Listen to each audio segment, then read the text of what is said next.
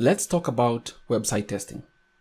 If you want to become a website tester, then these are some of the few details that you need to know and basically the the only details that you need to know about website testing. And first of all, I just want to make it clear that becoming a website tester is something that is very very easy and anyone anywhere in the world can do it.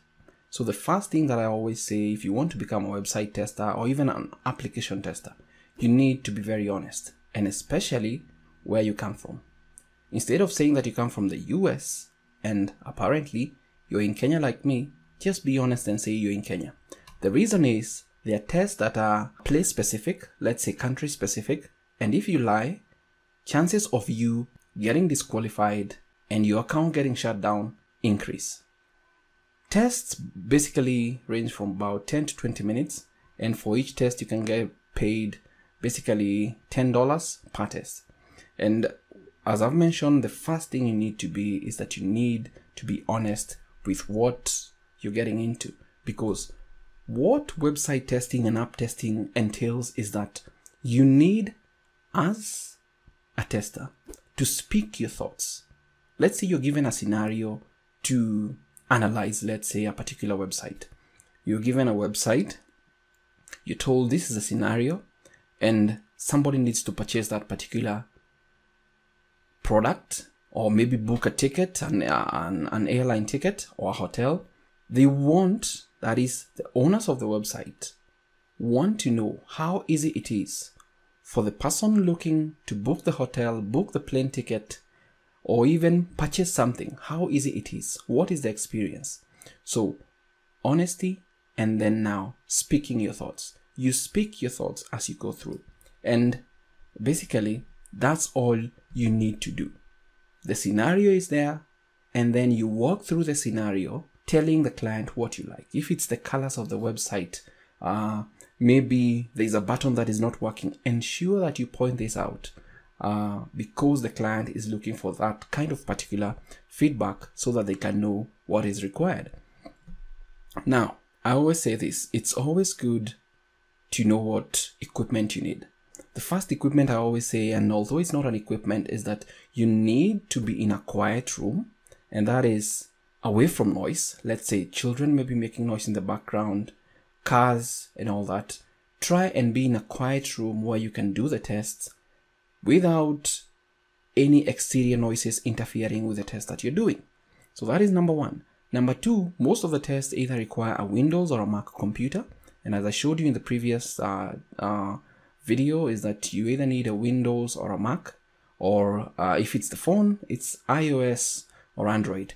Most uh, companies or clients require testing for their websites and their applications in these particular platforms and operating systems. So you need at least to have one of those gadgets. And also, depending on what you fill out in your profile.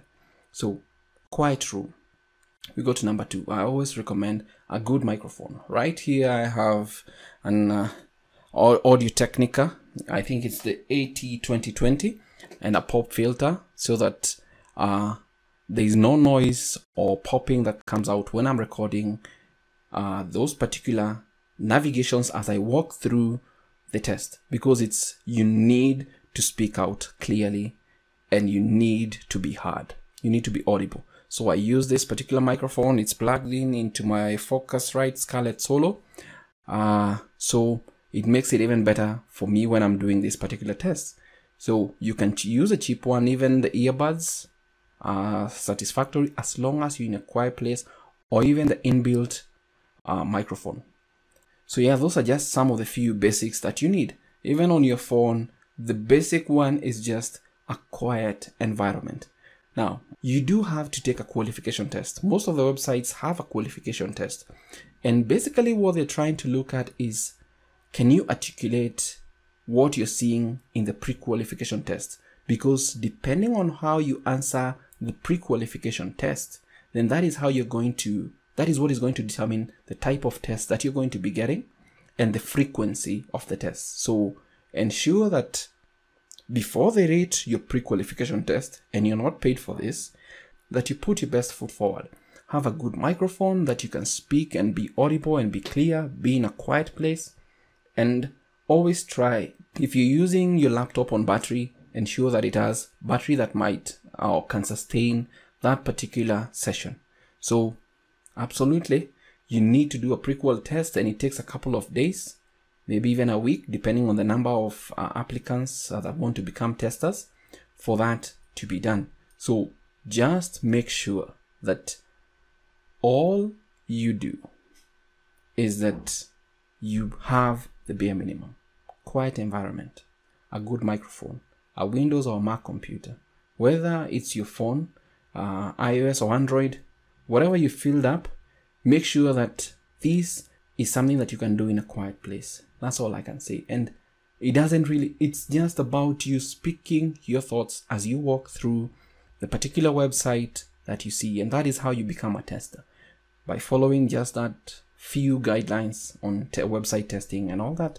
So it's like looking at the Facebook application and saying you don't like this. The WhatsApp application, you don't like the way it's not possible to like uh, do XYZ. So potentially you speak your thoughts because that is why clients are paying. And as I've mentioned before, depending on the length of the test, and most tests pay about between $10 to $60 depending on the time it takes for that particular test. So that's just a quick breakdown on how you can become a website or application tester and start making money from home. Check out the links below for the other video or up in the card above. And until next time, stay safe.